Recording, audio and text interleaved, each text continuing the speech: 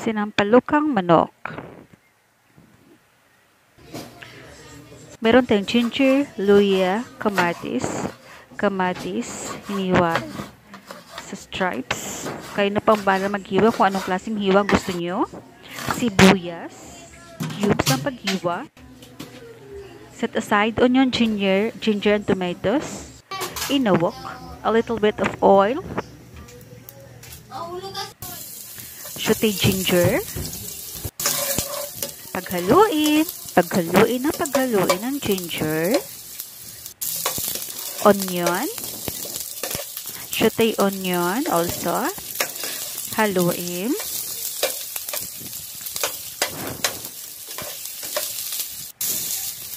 Pagkatapos, kamatis or tomatoes. Paghaluin silang tatlo. Mix all together. Ayan na po silang tatlo. Haluin na sila hanggang sa lumambot. Ayan na po sila.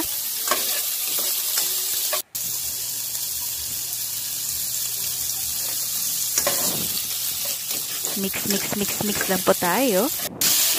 Chicken.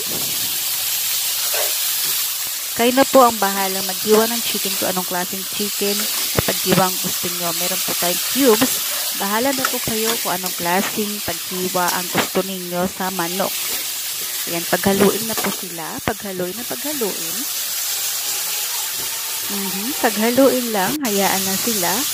1 tablespoon patis well as 1 ilagay sa ating manok. Saka, konti, konti pa. Mix until the chicken is tender and cook well. Ayan na po siya.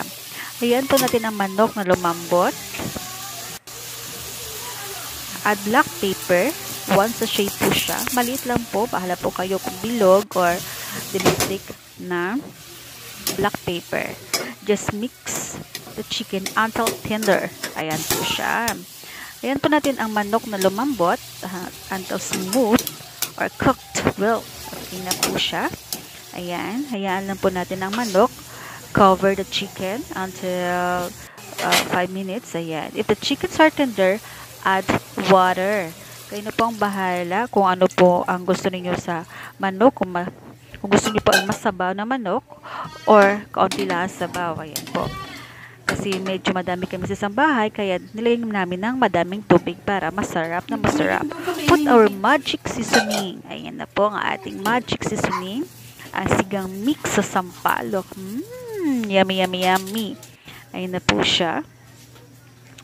Kaya, cover 3 to 5 minutes only. At sitaw, kangkong, green chili. Meron din po tayo. Ayan. Hugasan po natin ang ating mga gulay para hindi naman po maging uh, mukhang um, madumi ang ating manok. Ayan. Kumukulo na po ang ating manok sa sinabawang tubig. Charot. Kumukulo na po siya. Ayan. Put our sitaw. Hmm, yummy. Ayan na po, paghaluin po ang ating manok na may sitaw. Hmm. Sure, of course, lasahan po natin kung anong lasa. Okay po. Kung hindi po mala, kung walang lasa, pwedeng dagdagan natin ng asin at kung ano-ano pa. Put our kangkong. Ayan. And leave to 3 to 5 minutes para lang maluto ang ating kangkong. Mm-hmm. Pagkatapos niyan, ready to serve. Cha! Um, sarap yan. Thank you sa sinigang sa sampalok. Thank you for watching. Bye-bye.